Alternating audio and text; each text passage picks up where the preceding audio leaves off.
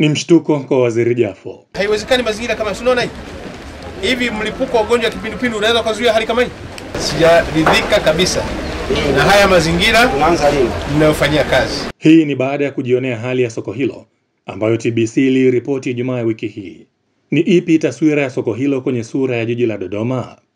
Siwezi kuona soko kama hili katika jiji kama hili na kukusanya mapato zaidi ya shilingi bilioni sabini na moja alafu mnakuwa na soko chafu kama hili. Kilio cha wafanyabiashara kinafika mahala pake. tunapata mafangasi, manyungunyungu, matope. Mazingira sio rafiki. Kabla mwaka huu wa fedha haujaisha, ujenzi uanze soko la Sabasaba, mwarekebishie mazingira hawa wafanyabiashara. Katika hatua nyingine, Waziri Jafo amemtaka mkandarasi wa Suma JKT kuharakisha ujenzi wa hospitali ya Uhuru.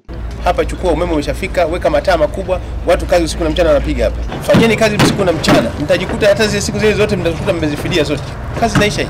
Waziri jafa ameahidi kufanya ukaguzi wa mara kwa mara kuhakikisha ujenzi huo unakamilika kwa wakati. Asher Thomas, TBC.